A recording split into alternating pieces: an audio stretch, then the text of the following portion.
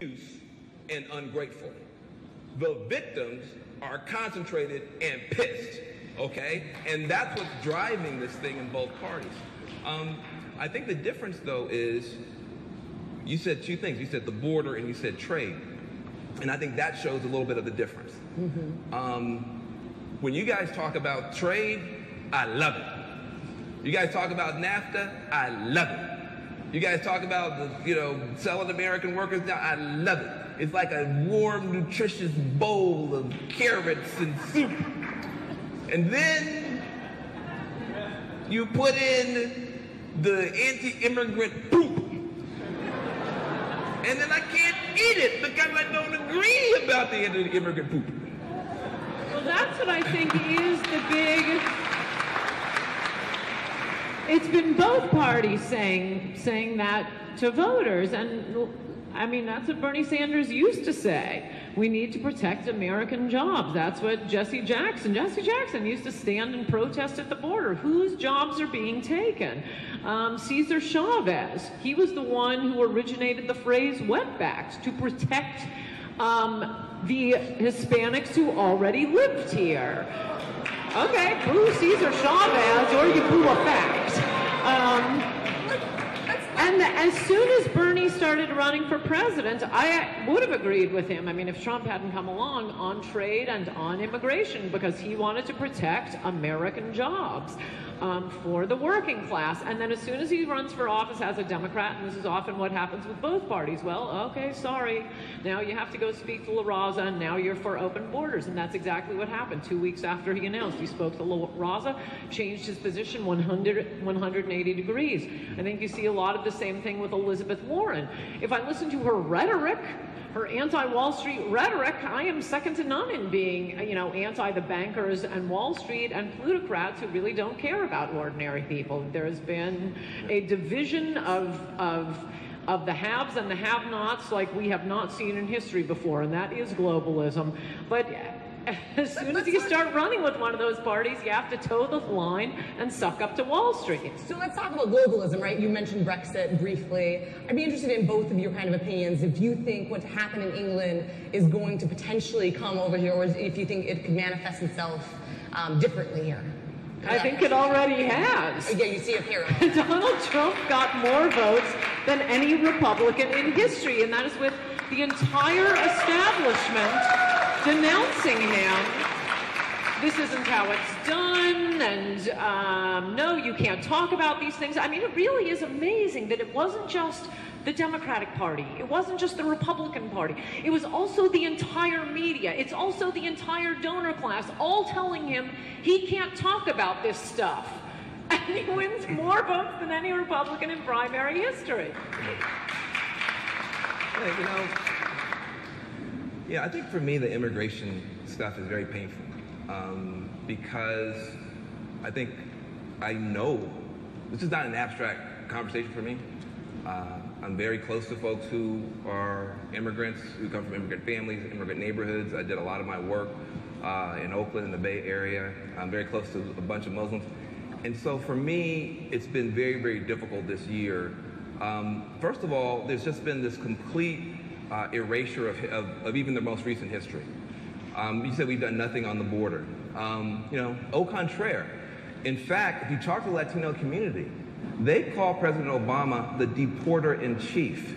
And the reason they do that is because President Obama, trying to show Republicans that he could be tough on the border, trying to get a deal done, deported more people than any president has ever done, put more personnel and technology on the border than anyone has ever done. We have a net negative immigration now from Mexico, more Mexicans leaving than coming, and it still wasn't enough.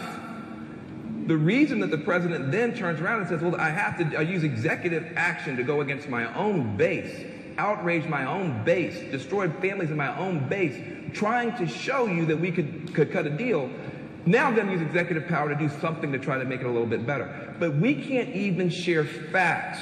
This is the first choose your news election. You pick your filter, your filter gives you your facts, and we can't even agree on the basics. It is not true that we have an open border. It is not true the president hasn't done anything. The problem is he got left at the altar when he did.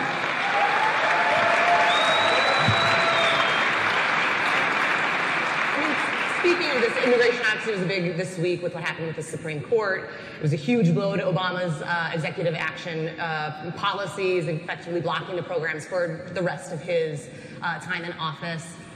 What is your reaction to that ruling? Were you surprised by it? And what impact do you think it was going to have here in the election? Um, I think it'll probably help Donald Trump. I mean, the Brexit election, it wasn't about it, it wasn't about the trade deals. They can make the trade deals they want to make. Brexit was about immigration. Trump is about immigration. And it's not about not liking immigrants. Nobody's out immigranting me, especially with the Muslims. Uh, the point is they are these are people who are already here. It isn't liking muslims or liking hispanics. It's do we take care of the people who already live here? And and bringing in more and more immigrants and um, no he is not the deporter in chief i know this is very big at the huffington post. What they did is they redefined what counts as a deportation. Um, up until obama a deportation meant you were in the country, they caught you and deported you. Obama started counting, turning them away at the border. Well, okay, this is like changing the grade. A passing grade is now going to be 40 instead of 70. And look at all the kids who have passed. Um, so they changed the definition of deportation. Um, look, the immigrants who are already here are going to be a big part of the vote for Trump. They're the ones whose wages are being driven down. It's not you, it's not me. Um, it's probably not a lot of people in this audience. No, to the contrary, you're very happy because you get such cheap mates. Um, and they're so docile. Uh, and you have your chef. And you, even in LA, you have pool boys even if you don't have a pool. No, this idea that you are the ones who are speaking for low wage workers is preposterous. These low wage workers would like a little less competition for their jobs. It is stunning how the very rich have gotten so much richer, so much richer, and wages, especially for the working class, have been flat for 20 years.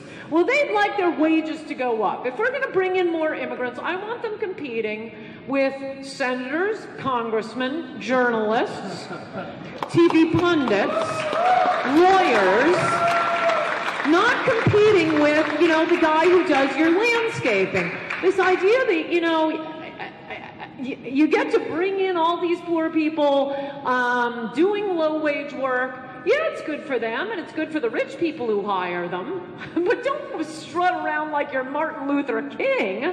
This is good for you. It's bad for your mate.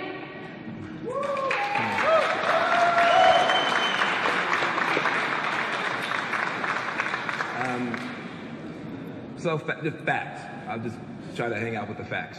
Um,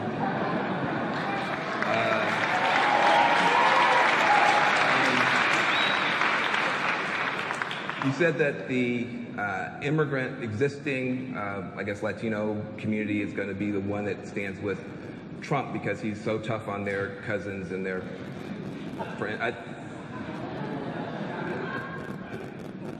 this particular, if that were true, I would be very, very worried because I would feel that maybe somehow um, I was overreacting to what strikes me as racial hostility to this particular immigrant group.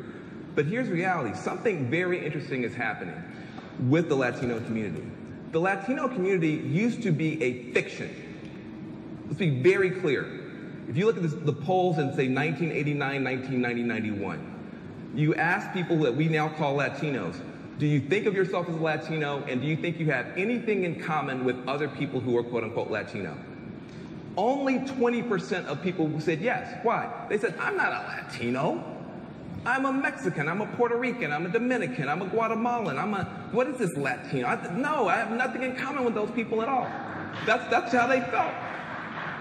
What has happened is that people who I think speak in a way that is so loose, I'm just being as kind as I can be, as so, that's so loose, it sounds like they're saying, I'm not saying they're saying this, but when you talk about people that you don't talk to, let's say that again. When you talk about communities you don't talk to, then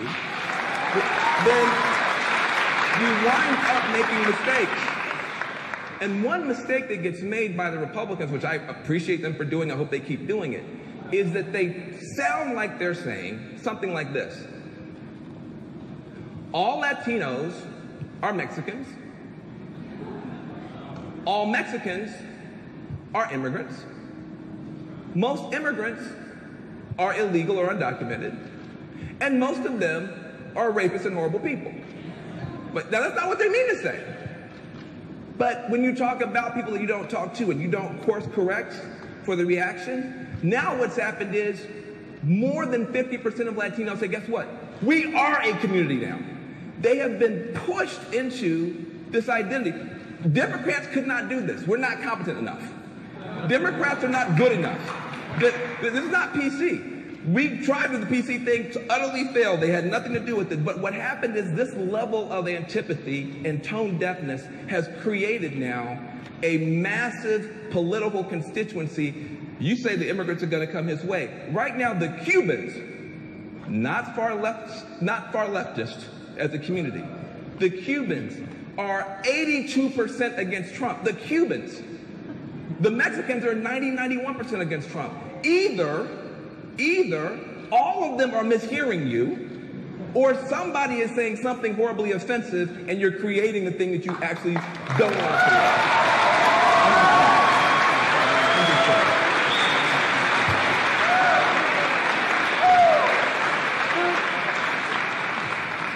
First of all, you claim that I'm not talking to these people who go around calling themselves Hispanics. No, I think that's mostly social justice warriors.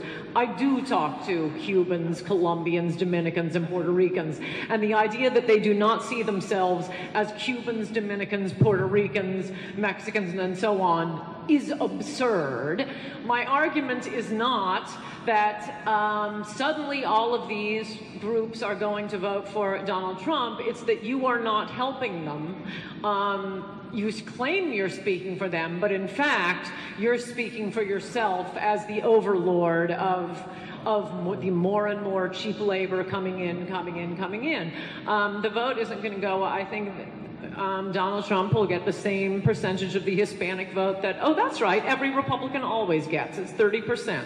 It doesn't matter if you're George Bush, John McCain, Mitt Romney, Jan Brewer, it's about 30%. Now you'll have all of the um, the people who don't think of themselves as Colombians, Mexicans, Cubans, but Hispanics, La Raza, La Raza founded by white people, by the way, um, um, with money from the Ford Foundation. Um, they'll be ginning up the social justice warriors, so you may not get more of the Hispanic vote. I think Donald Trump absolutely